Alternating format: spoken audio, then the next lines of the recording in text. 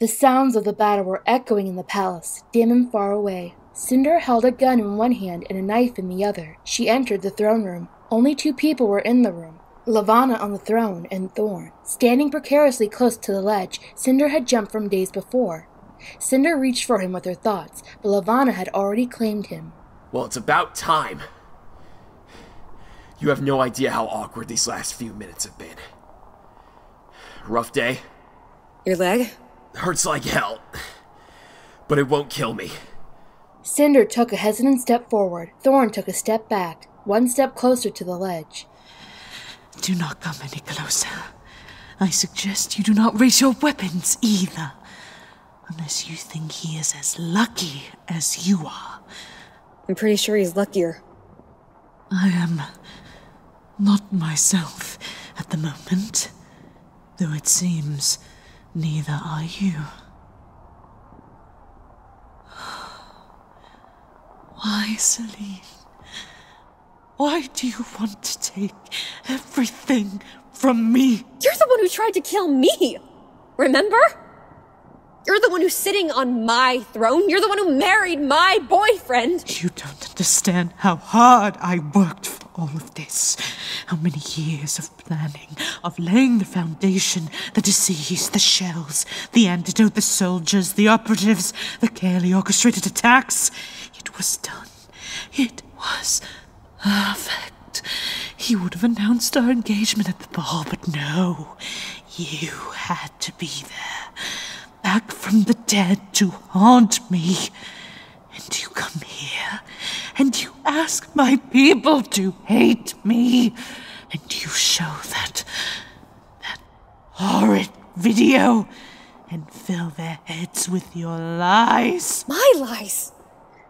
You're the one who brainwashes them. I just showed them the truth. Levana flinched, turning her head even farther away like she couldn't stand to be reminded of what she was hiding underneath the illusion of beauty. What I can't understand is how you could have done that to me. I was just a kid, and I know those burn scars you have. I have the same scar tissue where I lost my leg. Knowing what it's like, living with that, how. How could you do it to someone else? You weren't supposed to survive! At least I would have had the mercy to kill you and be done with it! But I didn't die. Yes, I've noticed. It is not my fault someone thought you might be worth saving. It is not my fault they turned you into. into that! Who did it to you, anyway? Who hurt you like that? You don't know. Why should I? You stupid child. Because it was your mother. My own sweet sister. Would you like to hear how it happened? She was 13, and I was six. She was learning how to use her gift, taking great amounts of pleasure in manipulating those around her. Though I was always her favorite target. Oh, she was very good, as am I, as you are. It is in our blood. At that age, it was her favorite trick to convince me that she loved me dearly. Having never felt love from our parents, it was not a hard thing to get me to believe. And then, when she was sure I would do anything for her, she would torture me. On this particular day, she told me to put my hand into a fireplace.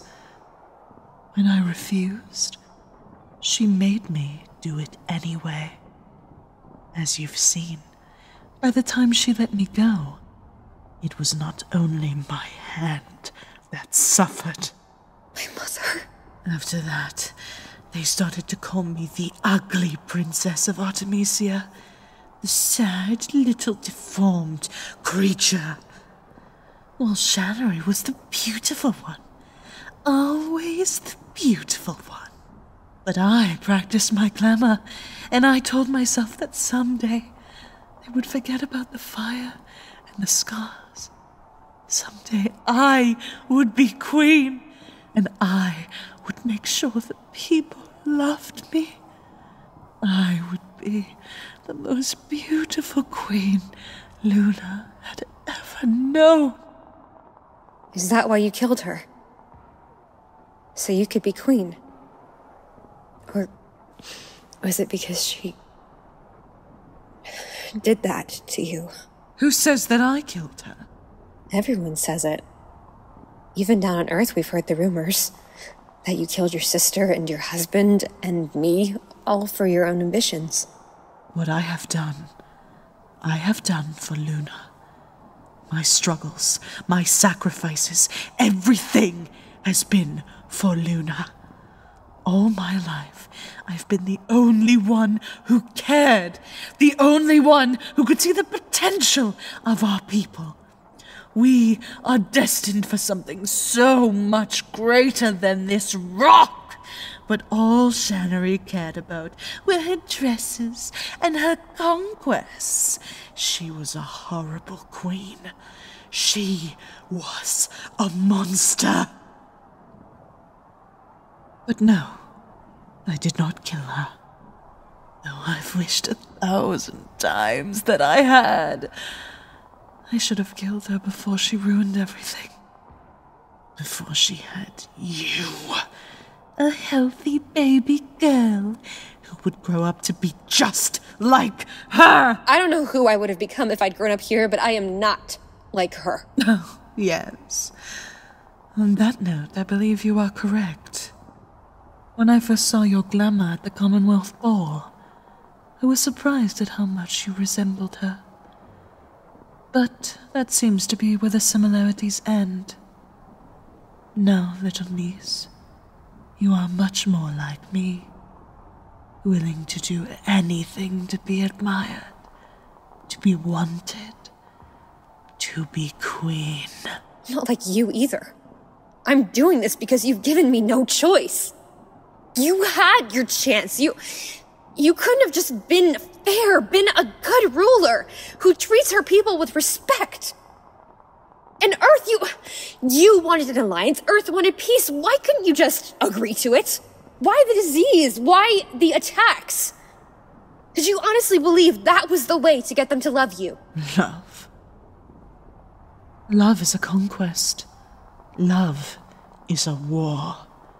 That is all it is. No. You're wrong. Fine. Let us see how much your love is worth. Relinquish all rights to my throne, and I will not kill your friend. How about we put it to a vote? Let the people decide who they want to rule them. Thorn took a step back, his heel hitting the edge. The second you kill him, I'll kill you. Then I will change the terms of my offer. Sacrifice yourself, and I will not kill him. Even I can see that's a bad deal. Thorn. Do me a favor. Tell Cress I meant it. Thorn. All right, your queenliness. I'll call your bluff if she won't. I'm not negotiating with you. If you kill me, you've lost your last bargaining chip. And Cinder wins. So let's talk about your options. You can either accept that your time as queen is over and let both of us go.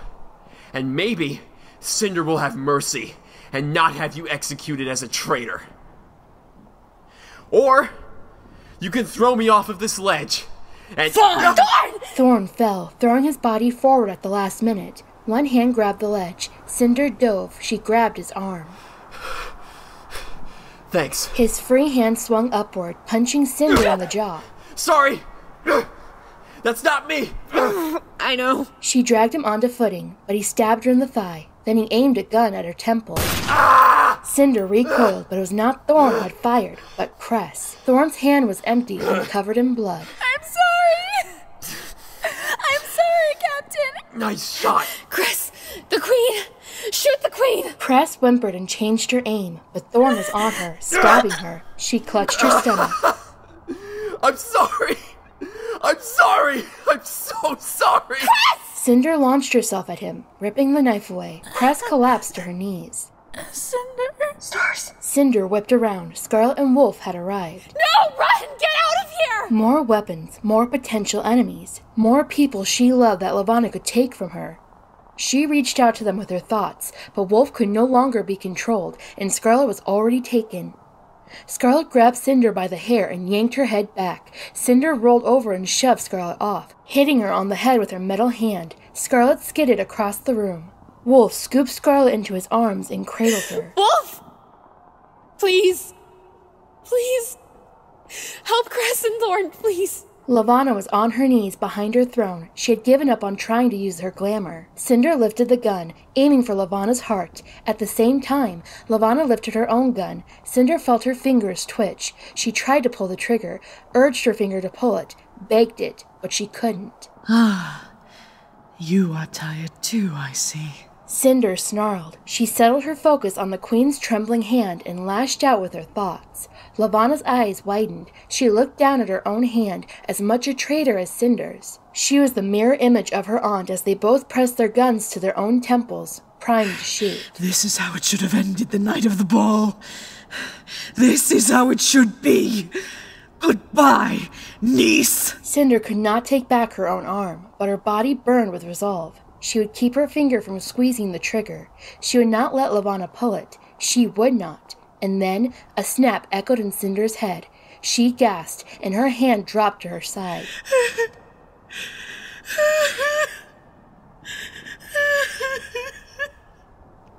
Fine.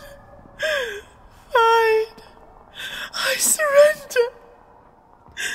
I relinquish my crown to you, my country, my throne. Take it all. Just. Just let me be. let me have my beauty again. Please. Cinder studied her aunt. She was too exhausted for even her own glamour, too weak to fight anymore.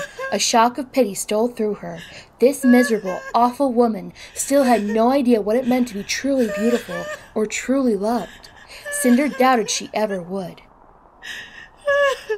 I accept. Levana grabbed the forgotten knife and lurched forward, driving the blade into Cinder's heart. Shock exploded through her chest and she fell backward. Levana fell with her, her face tight with rage. She had both hands on the knife now, and when she twisted it, every nerve in Cinder's head exploded with agony.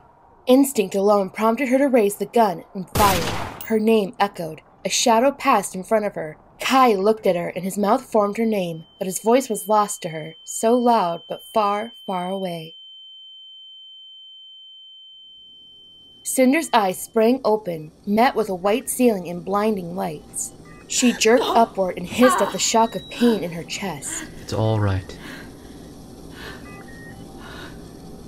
What is she doing to my hand? Fixing it. This is Dr. Nandez. He's one of Earth's best cybernetic surgeons. I had her flown up yesterday to look at you. I'm not dead? You almost were. The knife penetrated one of your prosthetic heart chambers, which drove your body into survival mode. That chamber shut down while the rest of your heart was able to keep functioning, more or less. Did I get that right? Close enough. My retina display's functioning again. You were in need of a new processing unit. The one you were installed with wasn't designed for full underwater submersion. Thank you. You should lie back down. You were stabbed, you know. I remember. Levana's dead. Levana's dead. Everyone's alive. But Cress is. Her vitals are stable, and they're hopeful for a recovery, but she hasn't come out of suspension yet. Scarlet had a mild concussion, but she's alright.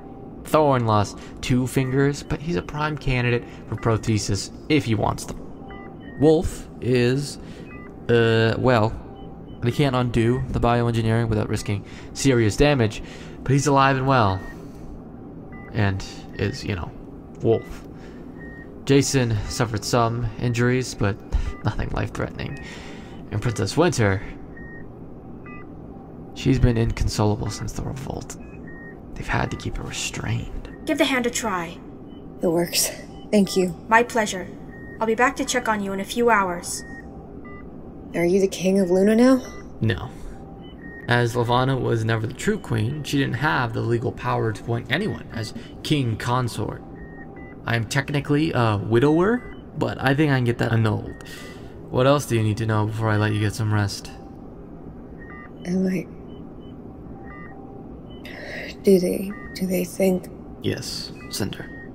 You're the queen of Luna. But you don't need to worry about anything right now. Torin and I are taking care of everything. Making sure the injured are taken care of, getting the city cleaned up. Oh, and the antidote. We prepared some big shipments for Earth, and the technicians have been working to produce more batches. Although the antidote is produced using shell blood, there's a whole complicated mess of laws surrounding the shells and the antidote, and I didn't feel comfortable doing anything without you. That's something we're gonna have to deal with, though, when you're ready. Thank you, Kai. I'm sorry. I should just let you sleep. It's just. It's really good to see you awake. How long was I out? Three days. Three days. What a luxury. A much deserved one. Take your time recovering. The hard part is over. Is it? Well, the dangerous part is over. Can you do something for me? Anything. Can you call a meeting? You, me, the Earthen leaders, and whoever you think should be invited. An official meeting. An important one. Cinder. And my stepmother. I- Is she still here? Yes. Bring her too. And maybe that doctor, too. Cinder, you need to rest. I'm fine. I have to do this as soon as possible before anyone else tries to kill me. You have to do what, exactly? Sign the treaty. I want to make our alliance official. So you're going back to the farm? Of course I'm going back to the farm. I mean, not tomorrow, but once things have calmed down. Wolf, Do you still. Do you still want me to come back with you? Now that I'm. that I. Do you still want me? Wolf. See. I still want you. It's just. I know I'm not what you had in mind. Is that so? Because I was envisioning a big strapping fellow who can chop firewood and master a post hole digger. And you certainly fit that description. Scarlet. Ze'ev, everything they changed is superficial. They didn't change you. You're the only one, Ze'ev Kesley. You'll always be the only one.